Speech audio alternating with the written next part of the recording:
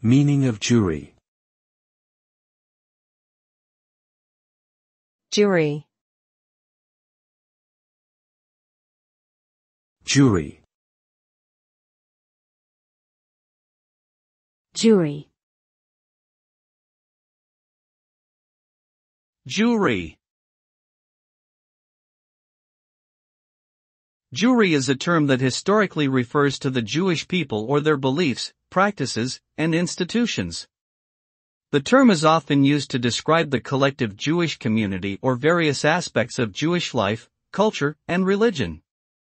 It is important to note, however, that the term can be considered outdated or even offensive in some contexts, as it has been used in the past to perpetuate negative stereotypes and prejudices about Jewish people.